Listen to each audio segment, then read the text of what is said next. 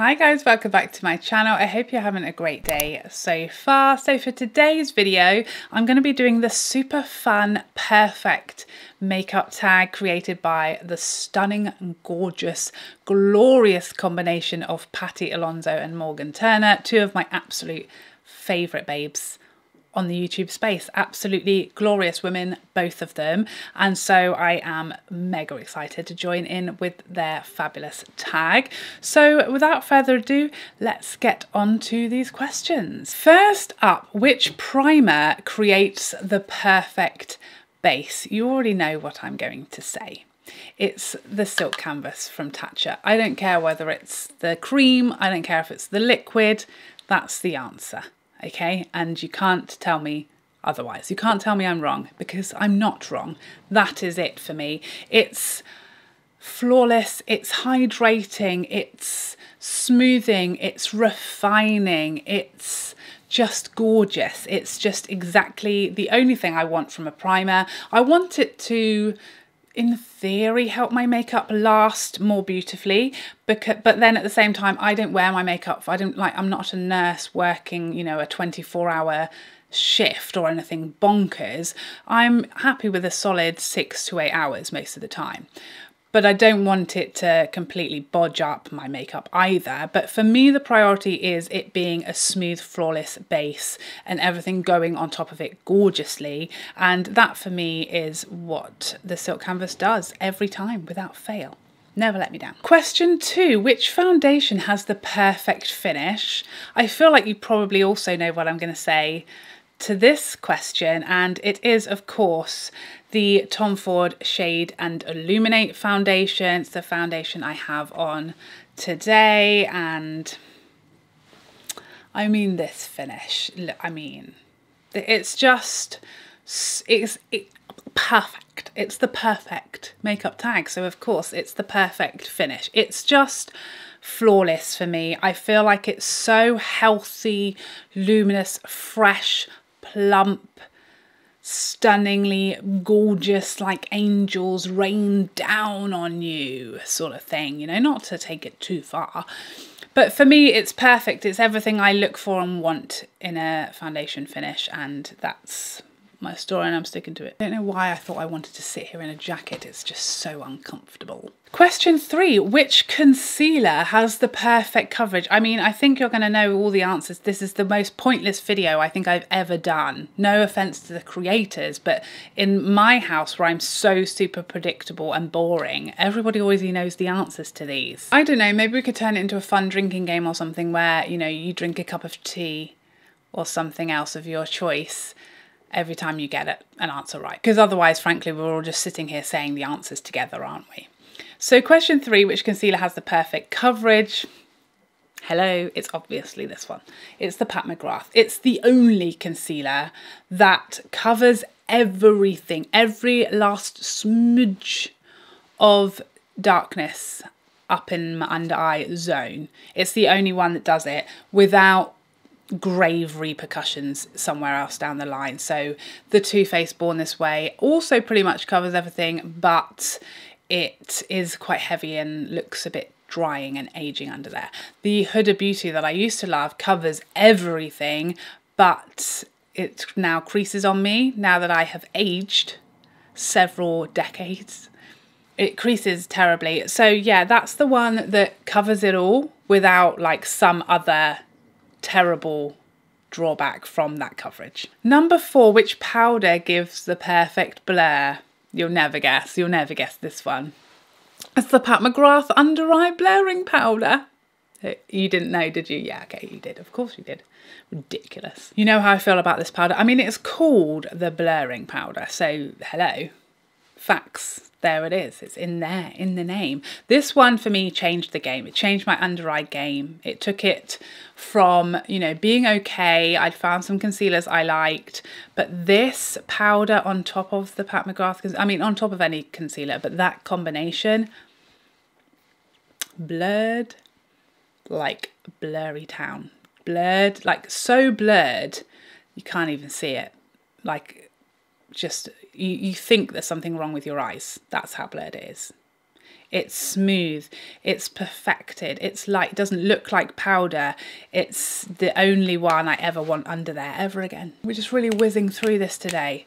We're there, we're rapid, we're not wasting time, we're not hanging around, we're just answering the questions as though we're being timed. Are we being timed? Is there a prize for finishing this the quickest? Because I think we might be in line for that, or at least getting on the podium. Question five, which bronzer has the perfect undertone? For me, undertone, when we're just we're just looking at the undertone, it's the Charlotte Tilbury in the shade tan. Can you see this for me does that? I like a red undertone because that's kind of the colour that my skin tans. And this one matches like my natural tan like no other. Like like no other. And it works in winter and summer. I feel like i like i don't mind a sort of more neutral bronzer. In winter that looks okay on me. In summer it looks bonkers and grey.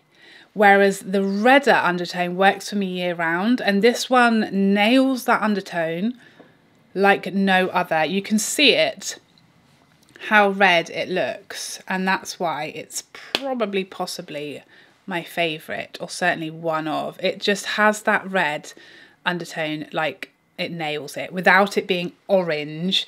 It's it's warm but it's not orange warm. You know? It's reddish brown warm instead, which I, I I prefer. Feel like my lipstick's a bit fey from Love Island today, which is concerning. Question six, which blush has the perfect shade? Now at this point, I will say, I realise a whole lot of the answers to these questions is Pat McGrath. And I did consider, try, well, I tried to think of other brands to replace all of the Pat McGrath answers that I found myself saying all the time. But then I just felt like I'd be lying to you. So I decided to just give you the true answers, regardless of the fact that this is like a Pat McGrath, an ode to Pat McGrath, this video. And I can only apologise for that. But those are my honest answers, I'm afraid. I'm really sorry about it. It's Desert Orchid. I just there were a few I thought about in here. The blush I have on today is Bellini from Laura Mercier. That's up there with my favourite colours. Um, as is NARS's Taj Mahal, as are lots of blushes that come from palettes, but I wanted to choose a single. And ultimately, this is it. This is my favourite colour. Like I said, I kind of really wanted to include a, a different brand, a Laura Mercier, and NARS, something that wasn't Pat McGrath, but I couldn't do it. I couldn't lie to you. This is this is the perfect shade. I think the thing with Bellini, why I went for this one instead, is Bellini just is that hair more peachy. You know, Desert Orchid, although it it is in theory slightly peachy, it's a it's more of a neutral brownie peach, whereas Bellini is categorically a peachier blush and it's a subtle peach but you I mean the peach is peachy the peach is there you can't there's no getting away from it it is and this one it just it's you can wear this with any colours, any makeup look, and it's always perfect. It always finishes the look. It never battles with anything. It's the perfect understated shade for every single occasion, makeup look, colour, etc. That's, that's all she wrote. That is the entire answer. Question seven, which highlighter has the perfect finish? You already know what I'm going to say don't you? You know what I'm going to say. It's the Pat McGrath Divine Rose. By the way, this isn't sponsored. Pat doesn't even know who I am. Okay, so this is just obviously I have a problem with Pat McGrath, and I've yeah, I need to work on that. I need to branch out more, be a bit more adventurous, perhaps. But this is the highlight I'm wearing today, and the finish for me it's it's literally it is perfect. I mean that is another word we could drink every time i say in this video the perfect it's the perfect makeup tag okay? It's not my fault. That's what the video is called. But this is just it. Blended out this is the most soft subtle smooth glow it's the perfect amount of luminosity that I like, that I want from my highlight. It looks glowy and gorgeous and pretty and fresh without ever being too much, without ever looking highlighty like metallic glitter, highlighting texture, anything like that. It's smooth as silk. It's just everything. I just think it's so smooth and gorgeous and soft and pretty and luminous, like a candlelight flickering on a wall over the fireplace. Come on, Charlotte, we were trying to do this quickly. Stop with the metaphors. Although, actually, to be correct, that was a simile. You can tell who's been homeschooling for the last two years. Eight, and it's not a Pat McGrath answer. Which lipstick has the perfect formula? There were so many options here. There were so many options. I could have said Pat McGrath. I could have. I won't lie to you. I could have said her mattes. I love them. They're great. I could have said the Huda Beauty Glow Creams. Love them. Great. Fabulous. I could have said Charlotte Tilbury. Of course. Glorious. I could have said others that I've forgotten. But what I am going to say is Lisa Eldridge.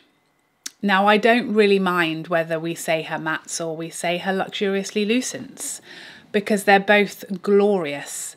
Her mattes are like possibly maybe my favourite bullet mat formula bar none. I think they are.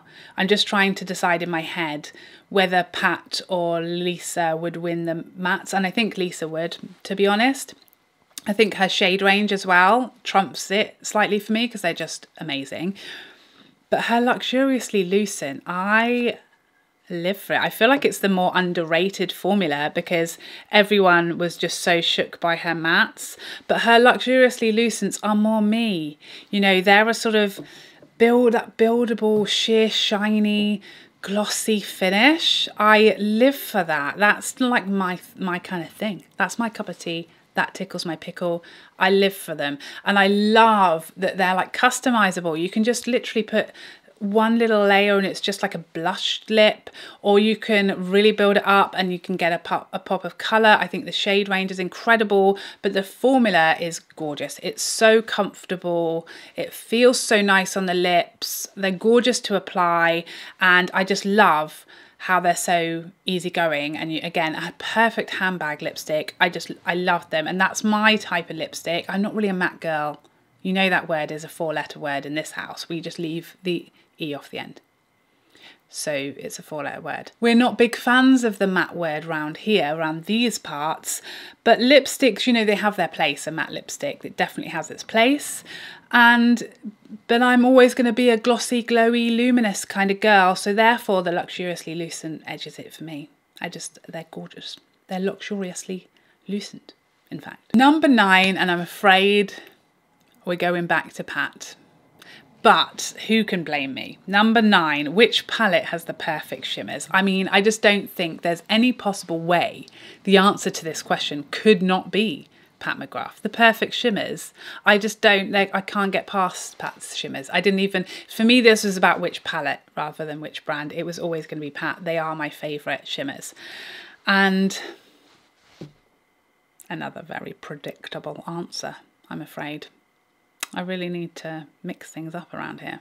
But this one, I mean, I think the reason I had to choose this because was because not only like the best formula, but the options in here just trump it for me. You've got soft, pretty, gorgeous shimmers. Like the, these two are just soft as anything and, you know, very daytime friendly, lovely, pretty little things. You've got this number down here that who knows what's going on. Is she pink? Is she purple? Is she green? When I swiped that, to me, it looked absolutely green. See that? That's what I saw when I when I swatched that, and that's what you saw. I mean, it's it's mind blowing. What's happening? What kind of trickery and sorcery is in here? And then you've got this. I mean, this sp sparkle come on. but you see what I'm saying? You see what I'm saying? The shimmers in here, you've got options. You've got metallics, you've got shimmers, you've got astrals, you've got kind of like satins or more muted shimmers. You've just got every kind of shimmer you could kind of want and the colours are gorgeous and they work together so beautifully and they're just absolutely stunning. I love to layer them as well.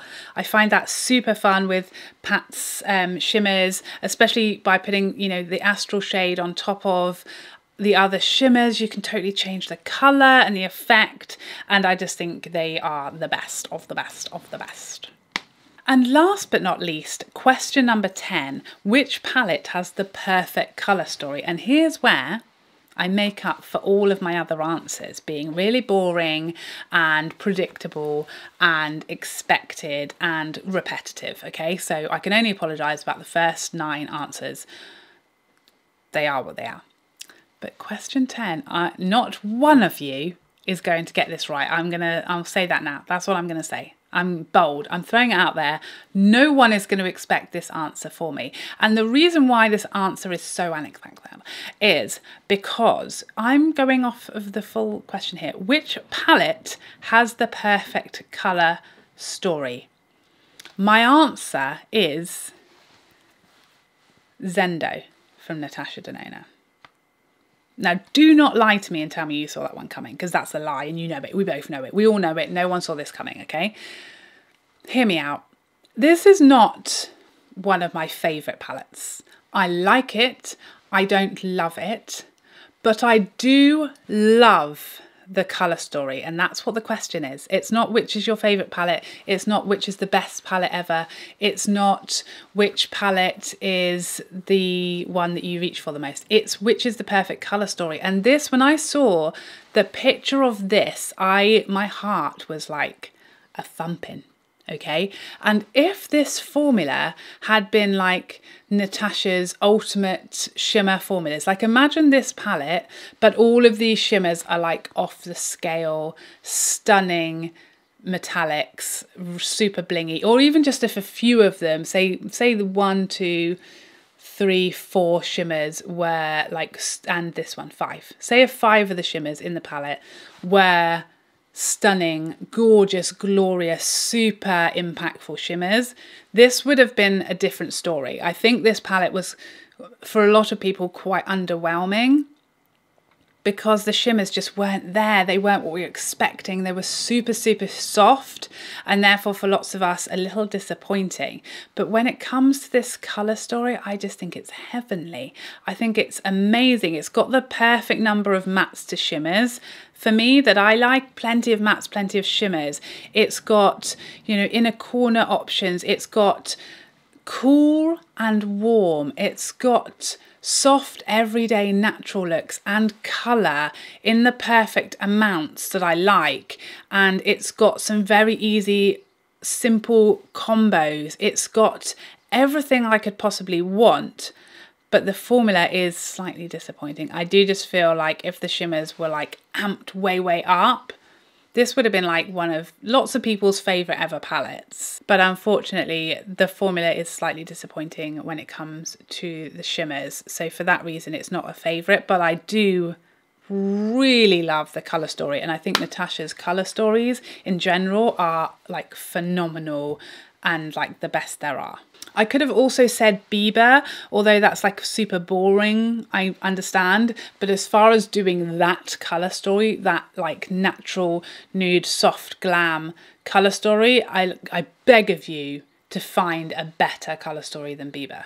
So that's my reserve answer, even though no one asked. So there you have it. Those are my 10 answers to these perfect makeup tag questions. Thank you so much for watching. I hope you enjoyed this video and I'd love to see you in the next one. Otherwise, take care for now. Bye, bye, bye, bye, bye.